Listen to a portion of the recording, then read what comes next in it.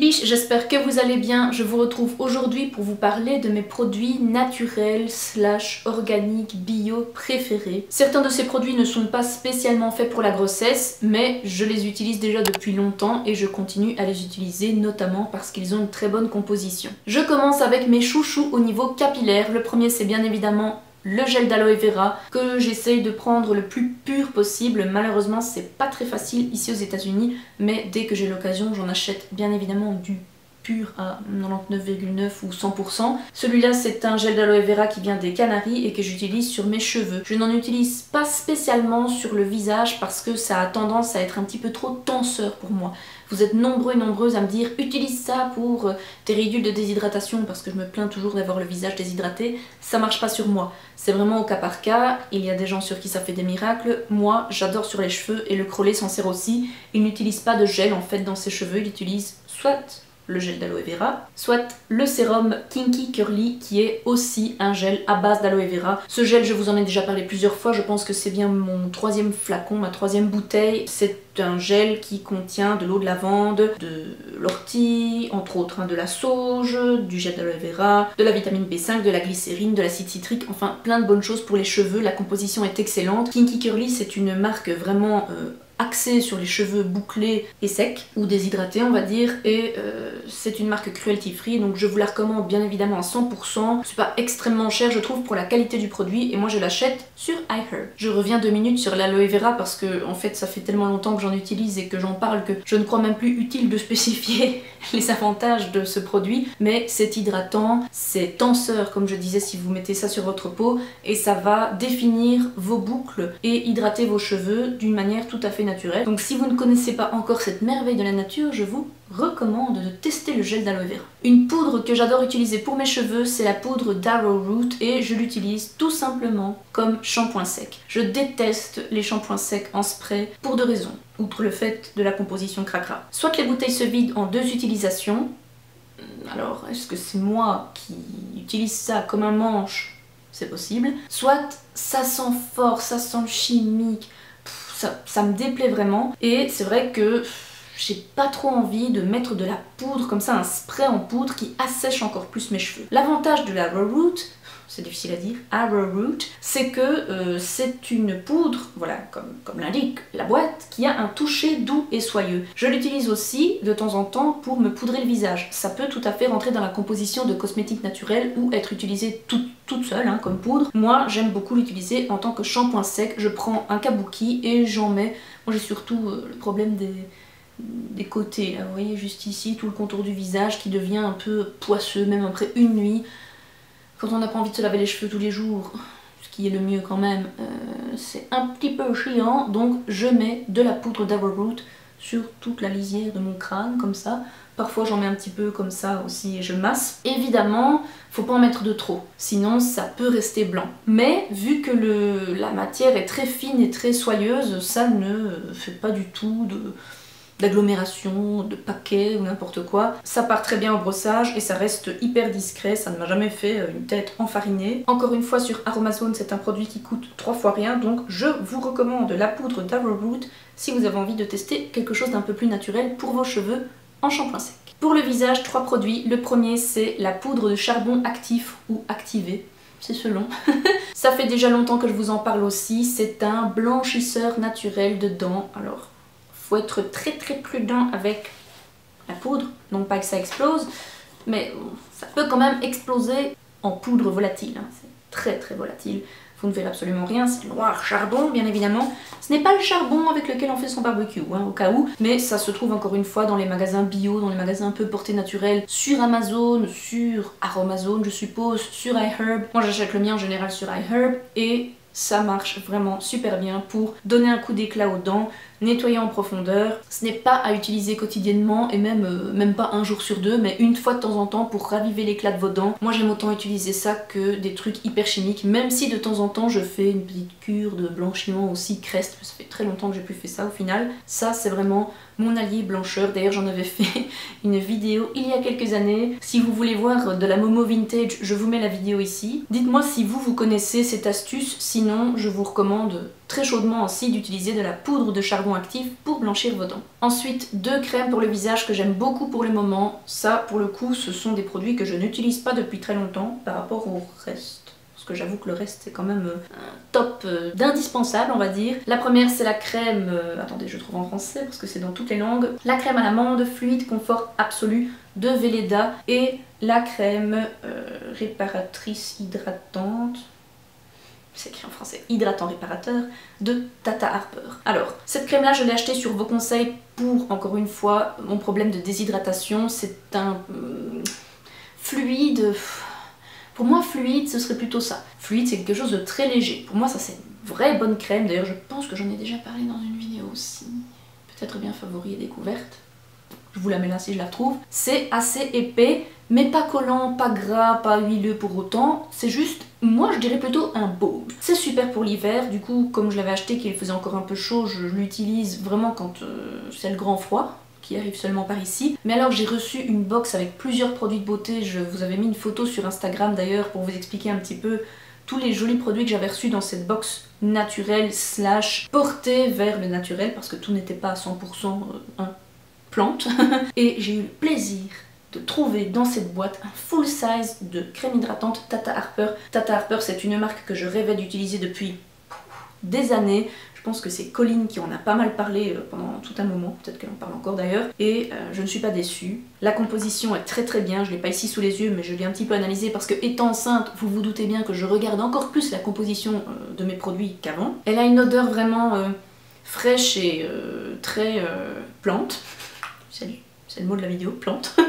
et euh, je l'adore. Ça fait un voile d'hydratation beaucoup plus léger que la Velleda pour le coup. Ça je dirais plutôt grand froid voire crème de nuit et ça crème de jour. Ça hydrate bien. Ouais ça fait euh, un petit voile velouté sur la peau. J'adore. D'ailleurs, dites-moi si vous connaissez les produits Tata Harper et si vous les aimez. Si vous les aimez, est-ce que vous en avez à me conseiller? Parce que c'est pas impossible que je continue à explorer la marque. Je vous en ai déjà parlé dans ma dernière vidéo favori et découverte, mais je souhaitais le remettre dans cette édition produit naturel préféré. C'est le déodorant Schmitz Fragrance Free, qui est du coup sans huile essentielle et qui n'a effectivement pas d'odeur. Il fonctionne tonnerre de Brest, je l'adore. Cruelty-free, vegan, composition excellente. Que dire si ce n'est que je l'ai fini, euh, ou presque, hein. je suis en train de me euh, racler les aisselles avec parce que je l'adore, je l'utilise tous les jours. Le Crollet a adopté aussi ce produit et heureusement, c'était certainement un acte manqué mais qui, voilà, qui est bien tombé. J'en ai acheté deux d'un.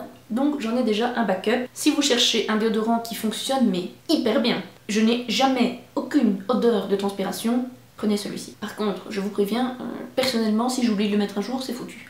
Mais c'est la preuve que ça fonctionne super bien. Si vous n'avez pas de soucis avec les huiles essentielles, vous pouvez prendre euh, les autres versions qui sont euh, aromatisées, on va dire, qui sont avec un parfum d'huile essentielle. Attention que moi, c'est pas la première fois que j'utilise des Schmitt et j'avais eu des taches sur mes vêtements. Je pense que la présence d'huile essentielle dans ce déodorant, dans ces déodorants, peut causer des taches, peut tacher un peu les vêtements clairs.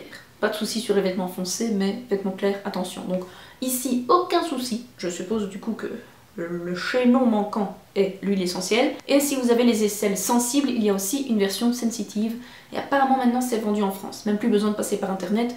Donc checkez un petit peu vos magasins. Dites-moi, dites en commentaire, hein, informez aussi les autres petites biches si vous savez où ça se vend en Europe. Mais euh, que vous dire, je l'adore euh, vraiment. Il a remplacé peu malgré moi mon belle bulle qui n'est pas disponible aux états unis vu que c'est une marque belge. Schmitz, I love you. On passe maintenant aux produits pour le corps et le premier que je voulais vous mentionner c'est cette huile de massage anti-vergéture. C'est écrit huile de massage vergéture. Anti-vergéture de la marque Veleda gamme Mother. Attention. je pense que, encore une fois, si vous n'êtes pas enceinte, si vous n'êtes pas maman, vous pouvez utiliser ça. Mais bon, hein, c'est la gamme spéciale maman parce que vous savez que toutes les femmes enceintes craignent la vergéture. Euh, personnellement, je suis une personne qui euh, grossit rien qu'en buvant un verre d'eau et je ne suis qu'une vergéture. Voilà, mon corps est une vergéture pour le moment.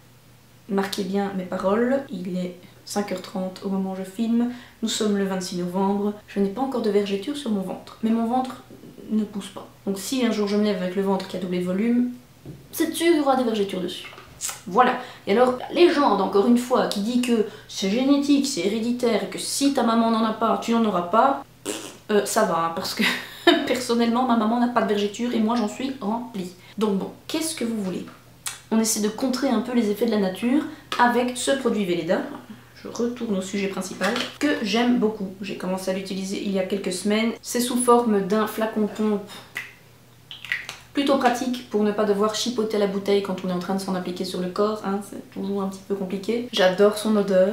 Qu'est-ce qu'il y a là-dedans? Parce que j'avais regardé. De toute façon, je suppose que c'est ok pour les femmes enceintes vu que c'est la gamme Mother. Huile d'amande douce, huile de jojoba, huile de blé. Il y a du parfum dedans de quoi on ne sait pas. De l'extrait d'arnica, limonène, linalol, citronellol, géraniol, citral, eugénol, farnésol qui viennent d'huile essentielle. Du coup, pas de panique parce que je sais que ça fait paniquer les gens les huiles essentielles. Je pense que je l'ai dit dans ma vidéo premier trimestre de grossesse. Le souci, on va dire, avec les huiles essentielles, c'est qu'on n'a pas encore le recul nécessaire pour savoir si une utilisation intensive ou je vais dire euh, quotidienne vraiment euh, pourrait faire euh, vraiment du mal à un enfant un bébé. Ma gynécologue est fan d'huile essentielle et moi aussi. Et ce qu'elle m'a demandé, c'est de ne pas en ingérer, comme je vous ai dit dans la vidéo. Moi, je prenais de l'huile essentielle de menthe poivrée pour tout ce qui était euh, estomac, euh, problème de digestion et tout ça. Ça, j'ai arrêté pour le moment. Mais l'application d'une crème ou d'une huile contenant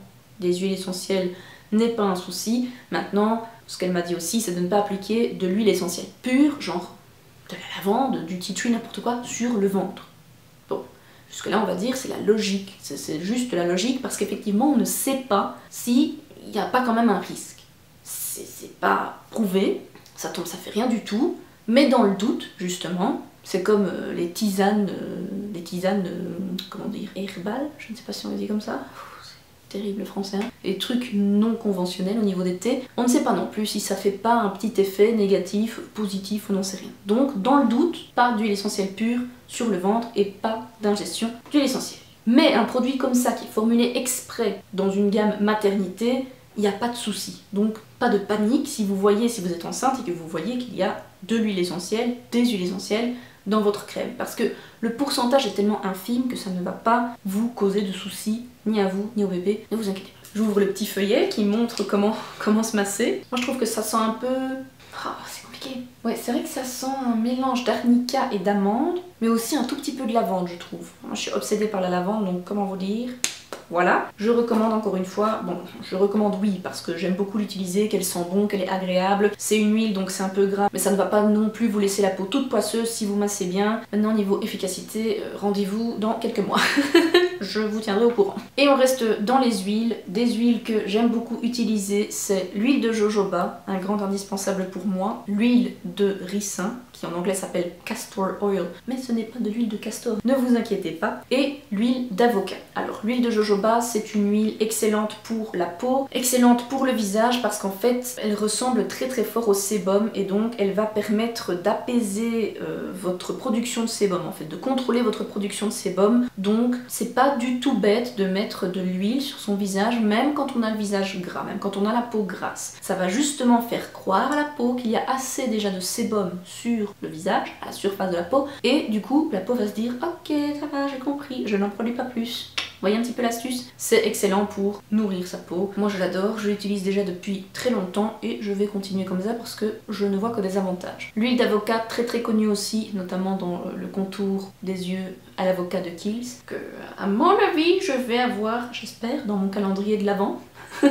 Excellent pour euh, le contour des yeux. J'ai mis ici pour une peau hydratée, douce, en bonne santé et c'est riche en nutriments. On sait déjà que euh, l'avocat, de manière générale, en tant qu'aliment, c'est excellent. Alors vous vous doutez bien que de l'huile d'avocat, ça ne peut être très bien. Et l'huile de ricin, bien évidemment, ai-je besoin encore de le spécifier, c'est pour faire pousser les cils et les sourcils. Comme vous le voyez, ça descend très très peu parce que personnellement j'en mets sur un coton-tige ou sur un petit goupillon et j'en applique euh, quand j'y pense, j'avoue. Donc euh, le problème avec ça, c'est que ça, me dure trop longtemps. Faut que je jette euh, en général avant d'avoir fini la, la bouteille. Mais bon, très très bon aussi si vous voulez faire pousser vos poils de manière générale.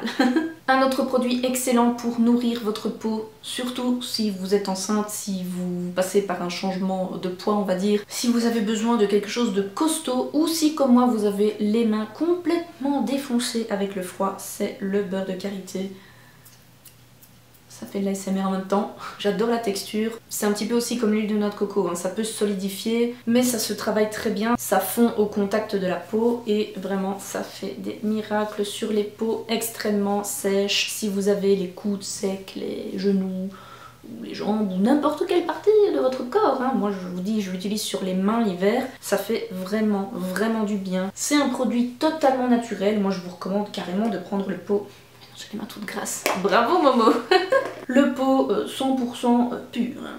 Vraiment, il n'y a pas besoin de chipoter avec ça. Oui, euh, il y a des crèmes, des beurres avec du karité dedans. Écoutez, celui-là, je pense qu'il est un tout petit peu modifié, juste parce que je pense ne pas me tromper si je dis que le beurre de karité pur, ça pue. Mais celui-là ne sent rien. Non, il a, une légère odeur de, de rien. Merci Momo Ça marche du tonnerre, c'est naturel, c'est encore une fois un produit que vous pouvez acheter euh, sur tous les, sites un peu bio euh, naturels ou dans euh, un magasin un petit peu aussi porté sur le bio je suppose. Et ça marche du tonnerre vraiment, c'est mon indispensable pour l'hiver, pour le corps. Et je termine avec le best of the best, bien sûr. Quel adepte du naturel n'a pas ça dans sa salle de bain? De l'huile de noix de coco, euh, vierge évidemment, première pression à froid, tout le tralala. Alors moi j'ai mon pot de chez Trader Joe's. Le problème de ce pot c'est que c'est en fait de l'huile de coco, c'est de l'huile de coco, donc euh, ça c'est dans le rayon cuisine. Donc euh, j'ai envie de vous dire, à un moment donné, je ne sais plus mettre ma main dedans. Donc j'ai ma petite cuillère pour rajouter un peu de gras sur mes mains.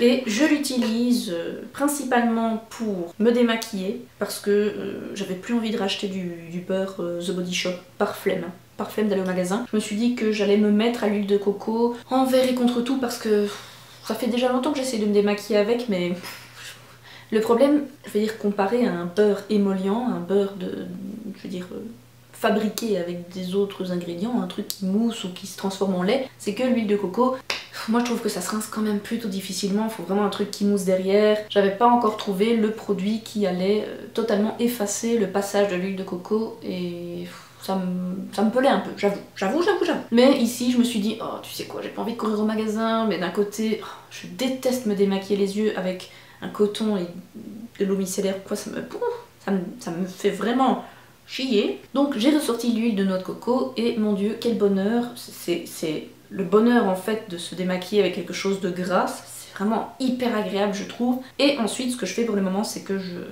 savonne le visage soit avec un savon pour le visage, soit avec du savon de Castille qui est un peu comme euh, du savon de Marseille ou un truc ainsi. C'est un savon très naturel avec une bonne composition qui sert à tout en fait dans la maison et sur le corps et sur le visage et ça fonctionne très très bien. Et ensuite je passe un petit coup de tonique et basta. Et donc vraiment encore une utilisation en plus pour ma merveilleuse huile de noix de coco. Je l'utilise aussi comme huile pour le corps, c'est une huile qui sent super bon évidemment. Si vous aimez l'odeur de coco et euh, j'adore en mettre euh, comme produit nourrissant pour mon corps. C'est aussi très très bon, je veux dire euh, l'hiver quand on a la peau très sèche, ça doit être aussi très très bien contre les vergetures, j'en suis sûre. L'important en fait avec les vergetures c'est de nourrir et hydrater sa peau. C'est pas tant d'avoir un produit spécifique, c'est vraiment d'empêcher votre peau de tirailler et de craquer. Donc mon dieu ça ne peut pas faire de mal. Au niveau masque pour les cheveux, c'est pas que ça me réussit pas, mais personnellement mes cheveux n'ont pas besoin d'être nourris, ils ont besoin d'être hydratés. Donc moi j'en fais plus autant qu'avant, je fais plus spécialement des bains d'huile, mais je, je, à la recherche toujours de bons produits hydratants pour les cheveux, donc n'hésitez pas. mais ça, si je dois vous, conseiller un seul produit, c'est celui-là. L'huile de noix de coco qui coûte trois fois rien. Prenez-la de bonne qualité évidemment. Ça vous fera vraiment des miracles dans la salle de bain. Et voilà pour cette vidéo spéciale produits naturels slash bio slash organique mes petites biches. J'espère que ça vous aura plu. Si vous en avez d'autres à me conseiller, surtout n'hésitez pas. Je sais qu'il y a pas mal de belle marque euh, européenne, on va dire, je ne sais pas si particulièrement française, mais de l'autre côté de, de la flaque, hein, par chez vous, qui sont très très bien. Malheureusement, j'y ai rarement accès, à part quand je vais en Belgique, donc euh, voilà. N'hésitez pas quand même à me les conseiller, hein, parce qu'on sait jamais, mais même Aromazone, c'est devenu très compliqué pour moi de me fournir là-bas. Donc j'essaye de faire avec ce que j'ai ici. Il y a quelques marques qui sont bien quand même, mais c'est toujours plus compliqué parce que les États-Unis sont pas spécialement encore très très porté euh, naturel, bio et tout le tralala. Je trouve que quand même pour ça en Europe on est vachement plus avancé et il y a plusieurs marques qui me manquent ici aux états unis mais voilà j'essaie quand même de m'en sortir avec ça, euh, surtout comme je vous disais, conseillez-moi de nouveaux produits, cheveux, corps, euh, peau, visage contour des yeux. Je veux entendre vos favoris à vous au niveau naturel et bonne composition. Et j'espère que ça vous aura plu, ça vous aura peut-être aidé à trouver de nouveaux produits pour votre routine euh, beauté, soins, bien-être. en attendant la prochaine vidéo, n'oubliez pas que vous pouvez regarder une autre vidéo et vous abonner à ma chaîne en français et à ma chaîne en anglais. Moi je vous fais d'énormes bisous et je vous dis à bientôt